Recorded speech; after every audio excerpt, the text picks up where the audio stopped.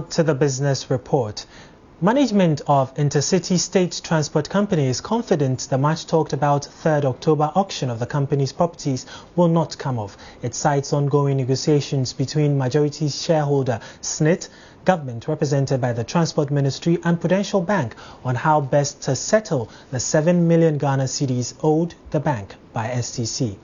Just to repeat what the Director General of SSNIT said this morning that um, the auction is not going to come off of, of, course, um, we respect the decision of the court, the, the, the, the, ruling of the court about the need to them to auction our properties because we use this property as a collateral for a loan that we took from the company. Okay, but th- those processes have gone through, and we know for a fact that the discussions are going on. We just hope to see have um, a fair idea of how the situation will be managed, and then we'll be we'll be okay with ourselves. STC has been unable to pay its debts because it is on the verge of bankruptcy, a situation it blames on the inadequate number of buses to service its routes. Joy News learned there are just about 47 buses, with more than half of the number breaking down. STC has been running since. The only problem is that um, the number of our buses has reduced. Okay, so that means that if we were running like six services to Takoradi in a day, now we're running like two or three. If we used to run five services to Tamale, now we're running just three. Other factors such as consistent reshuffles in management, poor work culture, and failure to adhere to bus schedules have all been blamed for the company's woes, especially in the face of growing competition in the sector. The Workers' Union, meanwhile, says it has sent a petition to the presidency to intervene. A copy of the document dated September 20th highlights the company's indebtedness, which the union puts at 43 million Ghana cedis owed to various banks and institutions, including the National Investment Bank. It also traces the genealogy of the loan contracted from Prudential Bank, it says was used to purchase FAW buses, which started breaking down after two weeks on the road. The workers, who say they have not received salaries for the past three months, blame management under the leadership of then board chairman Stephen Sekyere Abankwa, who was also managing director of Prudential Bank, for not exercising due diligence in the transaction. They want government to investigate the transaction and also revamp STC by injecting capital to restructure their operations. Meanwhile, government has indicated it is considering bringing in a strategic investor to take over the company.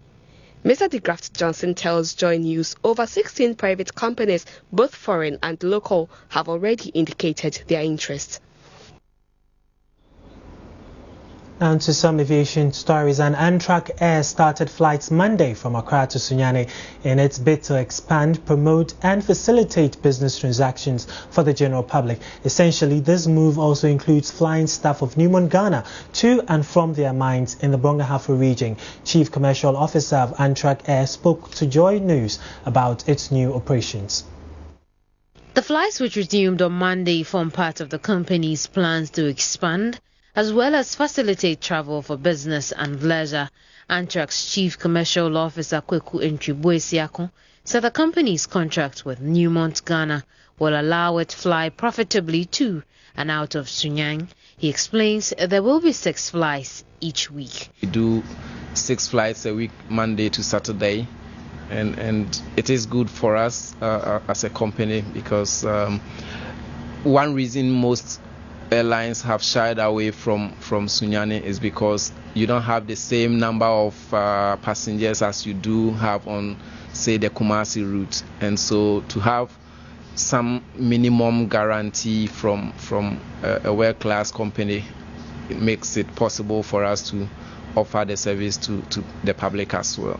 Meanwhile, he says the public will have to be wary of airlines that are offering mouth-watering fares adding such deals could come at a compromise. If you are, I mean, a traveler, you should be interested in your airline making profit in order to maintain the level of safety and quality that is required. If an airline is making losses and is not planning to do anything about it, I will urge you not to fly with that airline because the possibility of cost cutting is there. And with airline, if you cut costs, you are, you are, you are putting the lives of people at risk. In another development, Joy News has learned CityLink, another internal operator, will from next month resume its domestic operations as well as fly to the sub-region. The company has announced it has secured a deal with Egypt Air, which has now become a minority stakeholder in CityLink. Now, banking consultants have hailed the Bank of Ghana's decision to lift sanctions on Access Bank's foreign exchange transactions. They have described the decision to revoke the ban on Access Bank as good for the development of the banking industry.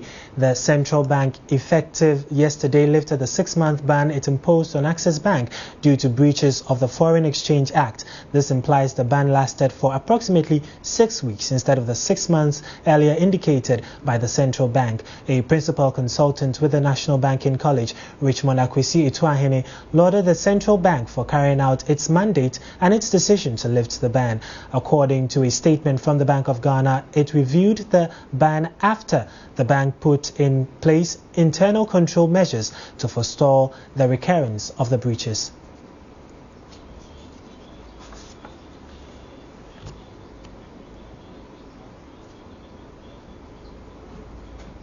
And that's it for the business report, but of course, we'll leave you with some smart investment tips and some market data.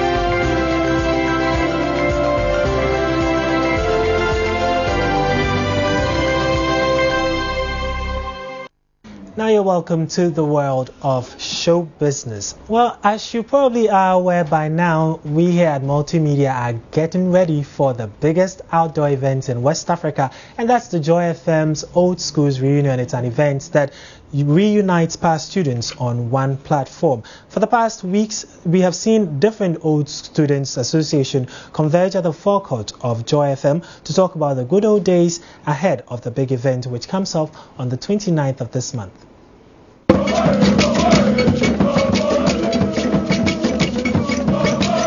Past students of the senior high schools and universities across the country continue to gear up for Joy FM's Old School Reunion, which comes off this Saturday at the Trade Fair Center.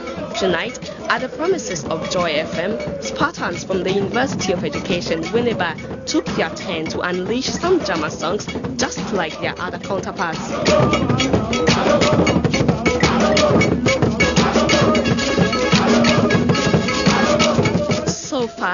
They have put up an impressive performance doing their Jama in style. The Spartans are confident they are going to carry the day come Saturday the 29th. The Joy FM Old Schools Reunion is an annual event. Now, the much anticipated Radio and Television Personality Awards will now come off on October 13. Big Events Ghana, organizers of the program, announced the new date at a press briefing in Accra today. The awards, originally scheduled for July 28 this year, was postponed following the demise of President John Atta Mills and some big music artists, including music high life maestro Kojo Antwi uh, singer Efya, Aaron Rough and Smooth, and other acts are expected to perform at the RTP Awards.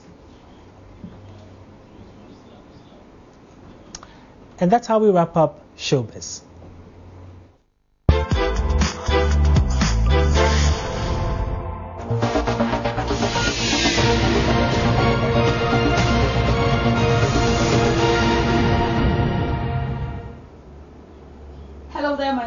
Name Kadiri and welcome to the sports segment of the news. The Executive Committee of the Ghana Football Association has elected Fred Crentsil as the Vice President of the association. The Oak Chief Executive Officer replaces Jordan Anagblah who passed on earlier this year.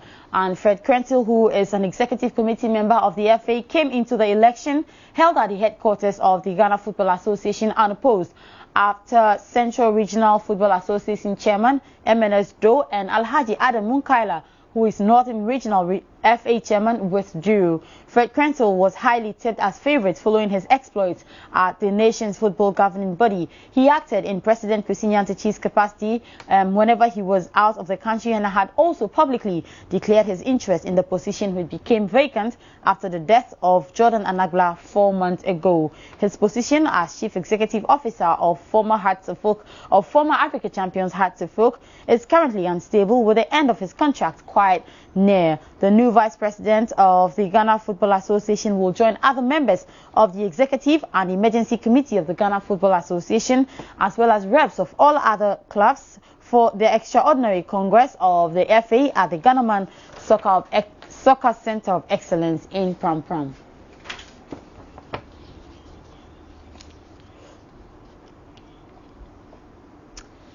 Now, interim head coach of the Black Satellites, Maxwell Konadu, says his team is preparing feverishly for the second leg of the final qualifier against Morocco, despite a comfortable win against the North Africans last Saturday at the Tamale Sports Stadium, last Sunday actually.